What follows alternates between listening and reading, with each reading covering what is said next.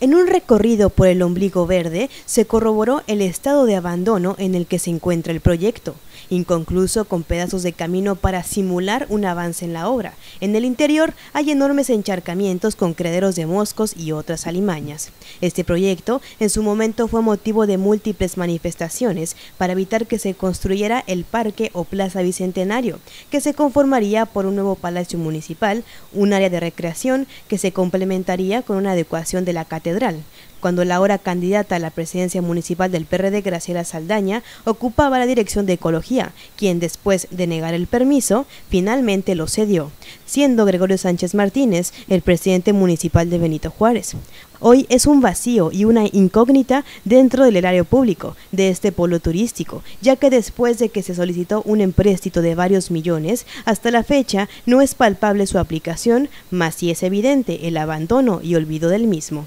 Cabe recordar que en el último intento de rehabilitación durante la actual administración de Julián Ricalde, entre el municipio y el Estado, otorgaron casi 3 millones de pesos para alzar la cerca y otros trabajos, mientras que el gobierno federal retiró el apoyo debido a que no se tenían los estudios de manifestación ambiental. En la Cámara, Ricardo Vallejo, para Notivisión, Linda Gual.